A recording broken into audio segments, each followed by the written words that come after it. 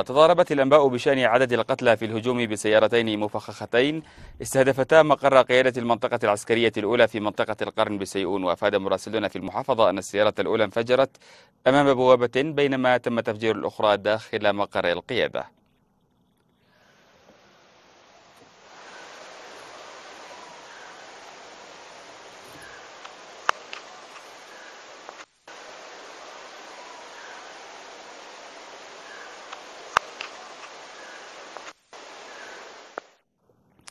للاطلاع أكثر على ما يجري هناك ينضم إلي عبر الهاتف مراسلنا في حضرموت محمد المقري. محمد ما جديد هذين التفجيرين؟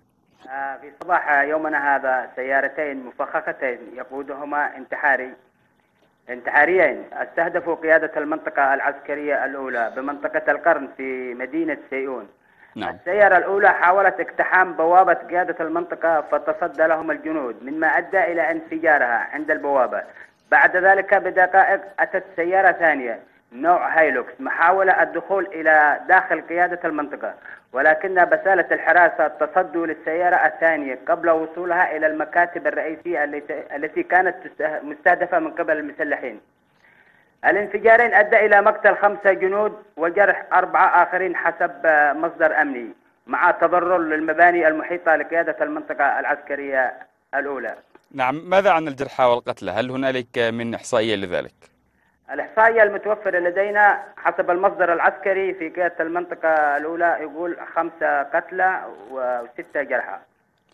نعم التنظيم القاعدة بعض المصادر قالت بأن القاعدة تبنت ذلك. آه، ما مدى صحة هذه الأنباء؟ وهل آه، فعلا صدر بيان بهذا الشأن؟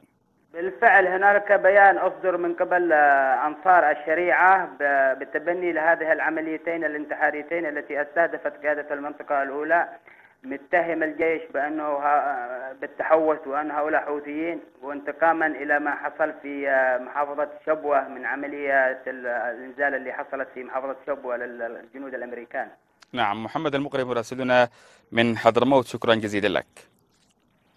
بعث الزعيم علي عبد الله صالح رئيس المؤتمر الشعبي العام برقية أعزاء ومواساة الأخ العزيز الشيخ عوض محمد الوزير عضو اللجنة العامة للمؤتمر الشعبي العام عضو مجلس النواب وإخوانه وأبنائه في وفاة